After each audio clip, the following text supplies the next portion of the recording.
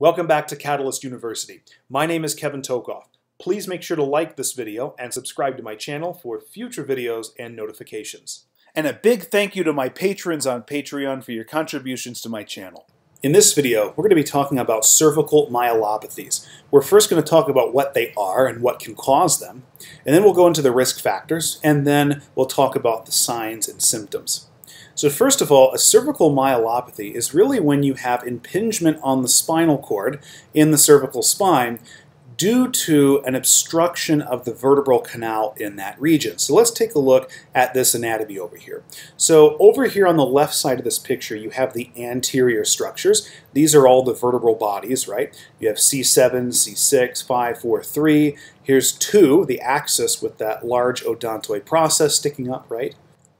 Back here we have the posterior tubercle of C1, and then from here down to the bottom we have the spinous processes of C2 down through C7.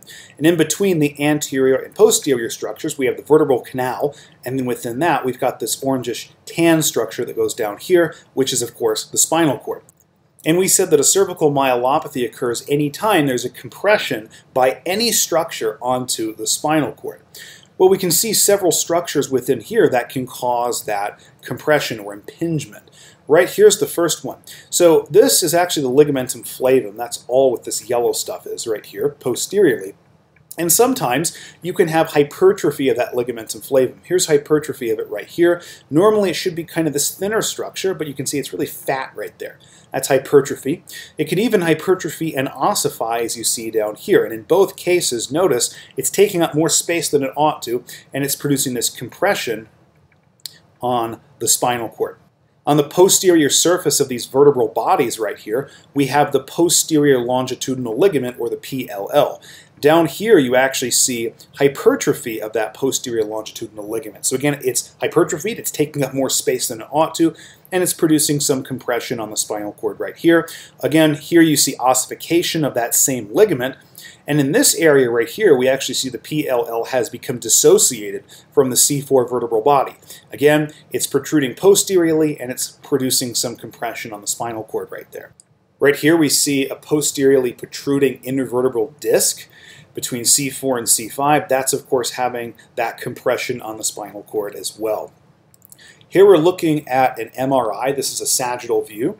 We can see the pons up here, here's the medulla, and then down here is the spinal cord, right? And we see right here, there's this black structure, so something is taking up space there where it shouldn't be, right? And we see that thinning of the spinal cord right here because whatever this is, is compressing the spinal cord. Now you've got the vertebral bodies over here, so this is anterior. Uh, this is more posterior on the right side of the picture, so most likely what this is, is hypertrophy or ossification of the ligamentum flavum. It may not be, but that's a good bet of what it might be. And it's producing that compression on the spinal cord, really between C5 and C6. And so the risk factors here are really anything that narrow the vertebral canal and cause that impingement on the spinal cord. The first risk factor is cervical spondylosis. We go back here. Uh, spondylosis is really this fancy term for age-related degeneration of the spine.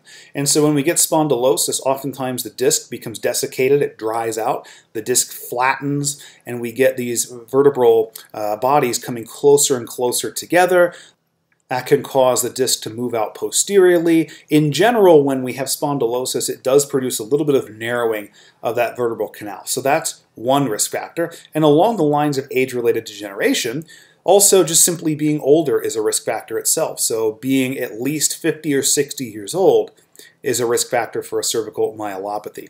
Now, as you might imagine, any trauma to the neck is going to be a risk factor. And two of the major traumas that you can have are motor vehicle accidents, where you can obviously have a head and neck injury, or a sports injury, particularly in contact sports like martial arts or football or rugby, things like that. You could also imagine a fall. If you fell just right, uh, you could potentially damage something in this vertebral canal, causing impingement on the spinal cord. And then another risk factor here is rheumatoid arthritis. So RA is associated with weakening of the atlantoaxial interval, so between C1 and C2. Several of the ligaments that exist in there that we don't actually see here become weak, and it can cause um, abnormal movement of the atlas relative to the axis. And so when that happens, you can get compression on the spinal cord way up there between C1 and C2.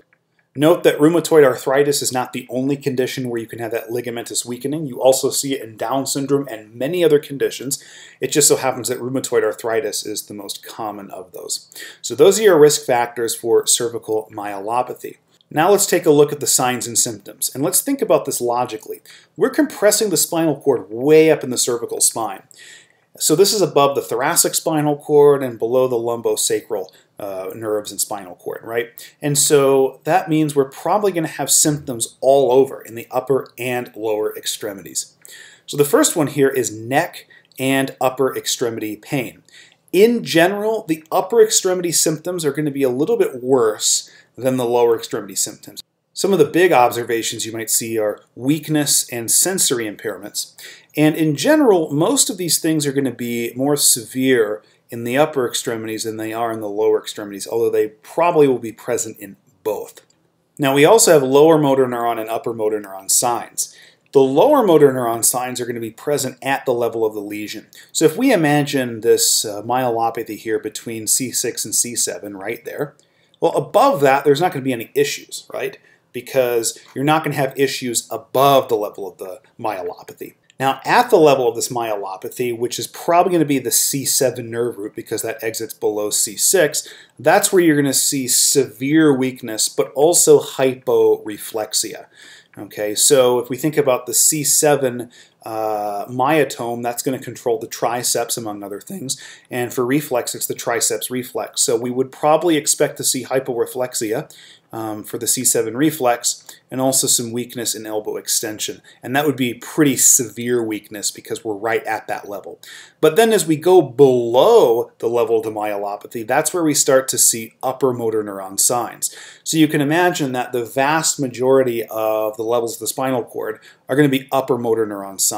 And those might include spasticity. We're going to see probably a lot of hyperreflexia below this level. So we might expect to see uh, patellar hyperreflexia, Achilles hyperreflexia, and someone with a myelopathy at this level. Okay, we might also see clonus, might see Babinski reflexes, inverted supinator sign, Hoffman's sign.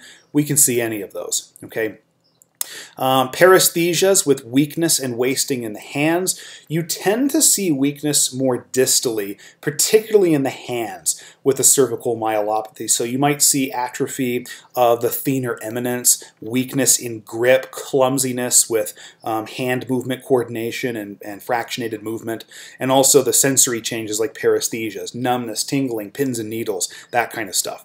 Gait disorders. Typically, when they walk, they'll walk in with an ataxic gait, very uncoordinated, and have a wider base of support in order to maintain balance due to that uh, incoordination or discoordination.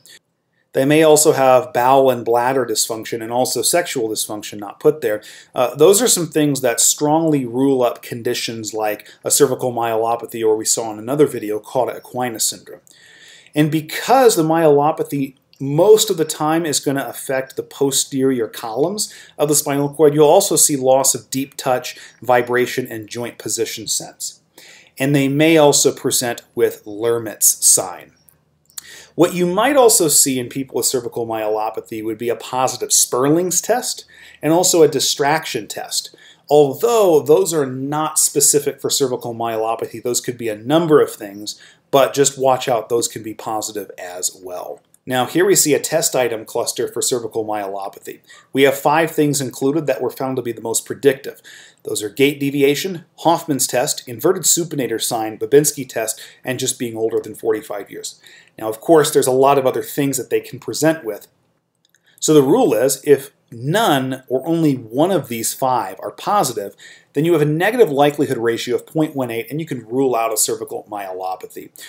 But if you have three or more of these that are positive, then you rule in cervical myelopathy because three or more of these is associated with a positive likelihood ratio of 30.9. That's a pretty darn high ratio. Normally, if the positive likelihood ratio is 10, we would say that it's a pretty good positive predictor. So 30.9 is kind of like off the charts. Okay, so if somebody comes in and they're older than 45, let's say they're 55 years old, they have a positive gait deviation test and a positive Hoffman test, even if three and four here are negative, that's three of them that are positive, and so now you really have to strongly consider a cervical myelopathy. Okay? Now, what about the conservative treatment for a cervical myelopathy? Well, probably the thing to start with would be intermittent cervical traction. And you can see some parameters right here. It may depend on a lot of other factors, but you're going to do traction of the cervical spine. So you can see here about 16 to 24 pounds of force for 15 to 20 minutes. And remember that when you do intermittent cervical traction, you have the neck in a little bit of flexion. Here it says about 24 degrees of cervical flexion, and it's going to be intermittent traction. And if you want more information on that process, go back and watch the video that I have on my channel. Just search intermittent traction. And believe it or not, you can also do manipulations. But generally speaking, these manipulations are not targeted at the neck, they're targeted at the thoracic spine. Okay, so the first one here is just a general upper thoracic traction manipulation. And then the second one here is a mid-thoracic manipulation. So it's been shown that for people with neck pain, that thoracic manipulations can be effective in reducing that pain. Now, one thing to mention about any of these manipulations is that by themselves, uh, they are not really effective. They have to be combined with specific exercises targeting the patient's symptoms to have any real effect. And then second, these are probably last on your list to do. We're talking about somebody with a compression on their cervical spinal cord. And so you would need to be very, very careful with these and be pretty skilled before you attempt these on someone with a cervical myelopathy. Okay. The third manipulation here is what's called a traction manipulation of the cervical spine. This one's not on the thoracic spine, and what's important is this is not a rotational manipulation of the cervical spine. Usually when you see a neck manipulation, it's the rotational kind. You would never do that on someone with a cervical myelopathy. The traction one is literally just a distraction. It's a distraction of the cervical spine in the axial direction. Okay, it's not rotational. But again, probably your first choice is going to be to do this intermittent cervical traction plus specific therapeutic exercises that target the patient's signs and symptoms. Okay. So hopefully this video gave you a good understanding of what a cervical myelopathy is, the risk factors, signs and symptoms, and then also uh, the treatment. Thanks for tuning in. Please like, subscribe, and check out my Instagram for cool science and not science stuff.